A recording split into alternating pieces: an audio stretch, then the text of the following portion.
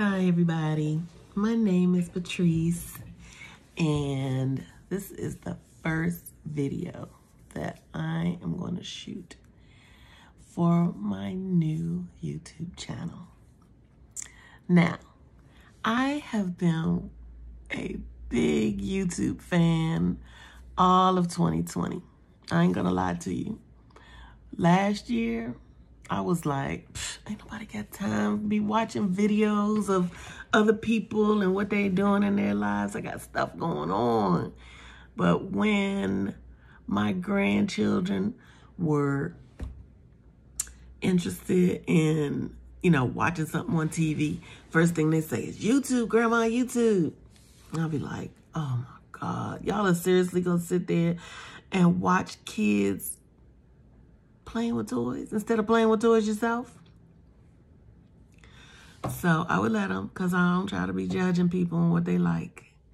But, you know, during the pandemic and, uh, you know, quarantining and staying in the house and all that kind of stuff, I started, you know, watching a few YouTube channels because I was really interested in traveling to Jamaica which is like somewhere I try to go at least once a year, two times if possible. And so I was watching the YouTube videos about, um, you know, how the how the corona was doing over there. I live in the U.S. It was doing way better. They were doing way better than we were. For the, uh, they still are. Everybody's doing better than the United States, but I digress. So, you know, the more I watched news about what was going on there, the more I started seeing like little clips or um, thumbprints of other YouTube channels. I started watching them. Now I'm so hooked. I don't even hardly watch any other thing. I have to make myself like go to Netflix and watch some movies or a series or something. So I can just get out of YouTube zone for a minute. I tell you all that because I decided that I wanted to do a channel because I think that what I'm going to be, you know, offering will be of some interest to somebody. And if not, I'm documenting some things that are going to be going on in my life that may end up being a once in a lifetime thing. And I just really would love it to be documented, if not for me, for my kids and my grandchildren and future generations. So, with that said, to my family, this is for you. So let's start. Um, I thought I've been thinking, like I said, I've been thinking about doing YouTube channel for a long time. My friend Teresa in California, who was originally from the East Coast, now she lives in California with her family. Um, it's like, girl, you have got to do a channel. So when you do your little traveling and stuff, we can see what's going on, you know, don't have to worry about, oh, the video is too big to to upload and all that. I could just go to your YouTube channel and watch what you're doing. So that was kind of like the defining moment for me when I said you're right. So traveling during the pandemic, it's December 2020 right now. It's actually the 29th of December, I believe and or maybe it's the 20th, whatever. You lose track. But I am preparing for a trip of a lifetime. Something that I never thought I would do. And um, I'd like to chronicle it. This year in February, I visited Jamaica and I was, I'm so in love with Jamaica. It's my happy place. But, um, and so when I came back, I immediately booked my next flight for June, July. And because um, Jamaica has so much restriction once you get there. And curfews and, you know, you can't move outside of your hotel once you get there. Even if you have a negative coronavirus test, I decided, you know what, let me try for December. Maybe things will lighten up by December. So I rebooked for December. December, same way, same thing. So I just said, you know what, let me just put that travel money aside. But in the meantime, I booked a flight to Ghana. And that's where this is all going to center around, at least to start with. Because if I am not exhausted by doing YouTube after my Ghana trip, I'll continue. Because I also have a passion for cooking. I would love to have you in my kitchen and, you know, have you watch some of my um, work. I have a lot of um, faithful customers. I have a personal chef business, which I kind of put on hold during COVID because for the safety of my customers and for my just sound mind. I don't have to worry if somebody gets sick. Because I gave it to them. I just, I'm not feeling it right now, but I still love to cook. Um, so we'll do some cooking. Um, my grandchildren are here. They are absolute ridiculous energy and entertainment. So that'll be some fun stuff to watch them. And they will be so excited to be on YouTube. So I sound like this right now because I have a cold, I think. I'm to tell you, I've been really sick since the 21st of December. And um, symptoms is so weird because it's not really bad cold symptoms, although there are some cold symptoms like congestion, a little bit of sneezing, but just a little bit of congestion and sneezing. Um, mostly it's been fatigue, like you would not believe. And also, um, what is it? Oh, um, a little bit of dizziness. Uh, anyway, I say all that to say, I'm gonna have to have a COVID test because I don't know. Um, I don't know what's going on. I I literally am going to be leaving for Ghana February 9th, and I have to have a COVID COVID test for that trip before I leave the United States and when I arrive in Ghana at the airport, I will have to have a COVID test. Now, why am I going to Ghana? And I'm going by myself. So I got a lot of people like, you're crazy. What's wrong with you? You traveling during COVID and blah, blah, blah, blah. So I've been in this house since March. This is literally where I've been sitting since March. Oh, look so that's that's my little TV with the screensaver of my photos. But I'm sick of this house. I'm sick of it. I'm going to lose my mind if I don't get out of here. So, I have a long distance relationship with a wonderful man um, named Dela. And you're going to meet Dela.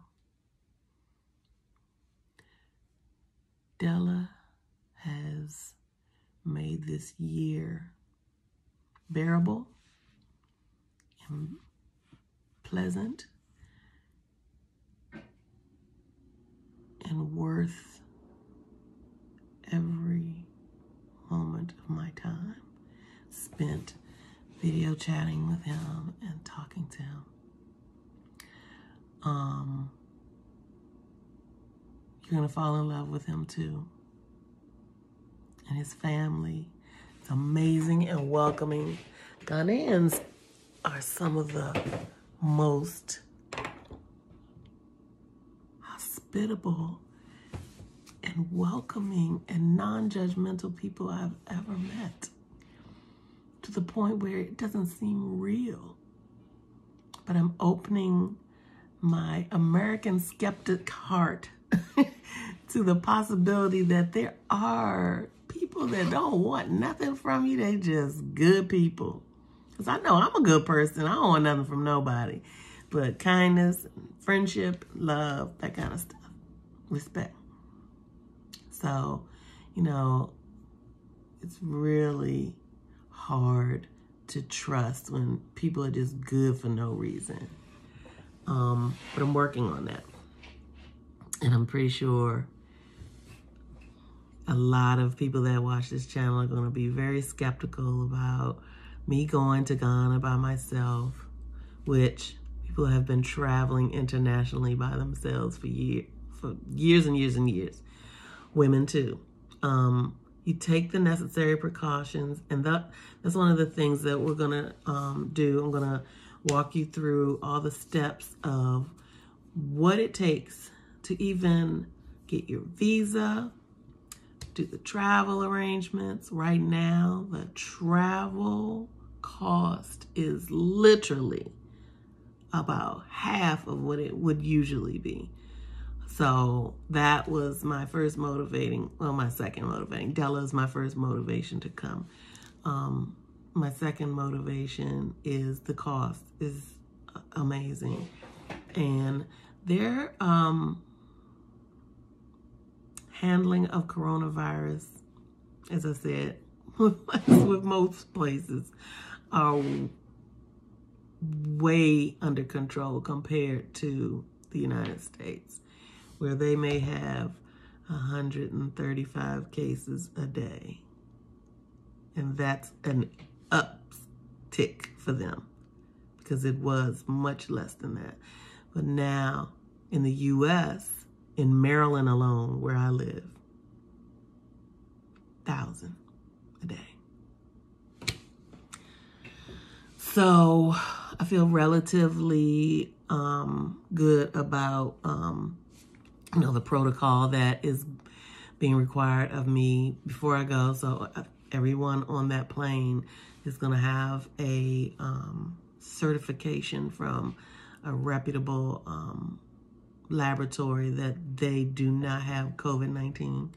Also, when I get there, they're going to ensure that, you know, that test um, didn't miss something because I'm, it's required 72 hours before I fly. Who knows who I've come in contact within those 72 hours. I may have gone to a party before I leave for Ghana and pick it up. And they're like, uh, you're not coming in here with no COVID. So at the airport, you can have a quick results test. In 30 minutes, I'll have my results. If I'm corona free, I'm free to roam Ghana and anywhere else um, I choose to go while I'm there. So I'm really excited about that. So Dela and his family have some amazing adventures planned for us. I'm to get um, uh, a GoPro so I can try to capture as much of it as possible. And um, I'm new to all of this. I don't even know if anybody's still listening at this point, but this is just my introductory video to tell you who is Patrice. Because that's what I'm going to call this channel. Who is Patrice? Um, I think that's what I'm going to call it. Because nobody know me. But hopefully by the time, you know, a couple of my videos come out and you hang in, have fun, and uh, watch my adventures, you'll know who Patrice is. So I was born and raised in Washington, D.C. Um, I've lived in Maryland for seven years, and it's not my first time living in Maryland. If you are not familiar with um, the D.C. area, we refer to it as the DMV, D.C., Maryland, and Virginia. And they're all so closely um, knit that we just call it one thing, DMV. So, um, if you live in Maryland, it's not it's not really um, that far from DC. I think I'm probably six minutes from DC. Maybe I'm exaggerating, but about 10 minutes from DC. And um, it's all good. Anyway, all that to say, um, I'm looking forward to doing my first video of how to even get started if you want to travel um, internationally.